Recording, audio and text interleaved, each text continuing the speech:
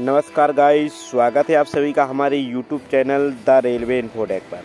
दोस्तों, आज की वीडियो में हम फिर उपस्थित हैं एक नई इन्फॉर्मेशन के साथ। दोस्तों, आपने सुना होगा कि ठंड में रेल की पटरियाँ सुकड़ती हैं और गर्मियों के दिनों में रेल की पटरियों में वृद्धि होती है। दोस्तों, ठंड के समय रेल पटरियों में कभी कभी तो इतनी सिकुड़न आती है कि उनमें क्रैक हो जाता है। और इसी प्रकार की घटना की जानकारी हम आपको देने वाले हैं।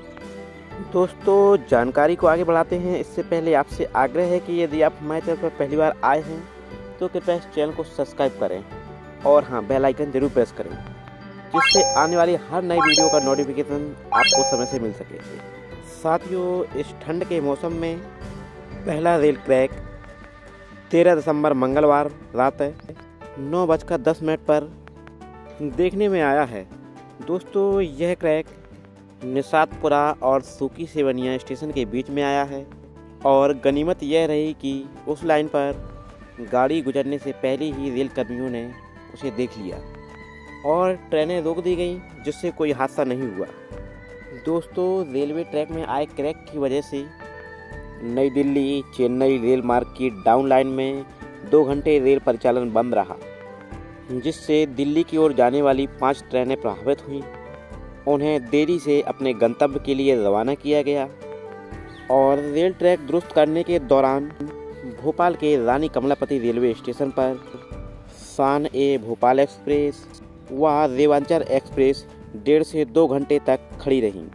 इसके अलावा भोपाल स्टेशन पर बीना की ओर जाने वाली पुष्पक एक्सप्रेस, तमिलनाडु, गोवा और एपी एक्सप्रेस जैसी ट्रेनों को रोकना पड़ा।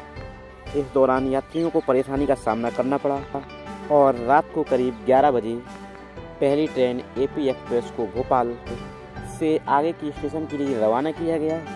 साथियों, जानकारी के मुताबिक ठंड की वजह से रेल पटरी में क्रैक आया था और उस दौरान अच्छी बात यह रही कि उस समय कोई भी रेलगाड़ी ट्रैक से होकर नहीं गुजर रही थी और हादसा होते होते टल गया। इस दौरान ट्रेन में यात्रा कर रहे यात्रियों का कहना है कि रेल कर्मचारियों ने ट्रैक को सही करने में लंबा समय लगा लिया। इस वजह से परेशानी हुई। साथियों, ठंड का सीज़न है और इस प्रकार की घटनाएँ ठंड में देखने को ही मिलती हैं।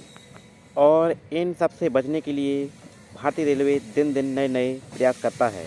और रेलवे इसके लिए कोल्ड पेट्रोलिंग एवं अन्य प्रकार की विधियों को प्रयोग में ला रहा है जिससे इस प्रकार की घटनाओं से बचा जा सके। धन्यवाद दोस्तों। आज की जानकारी आपको कैसी लगी, हमें कमेंट के माध्यम से ज़रूर बताएँ। और यदि वीडियो पसंद आई हो तो कृपया वीडियो को लाइक करें और शेयर करें। आगे फिर मिलेंगे और नई इन्फॉर्मेशन के साथ। जब तक लिए जय हिंद।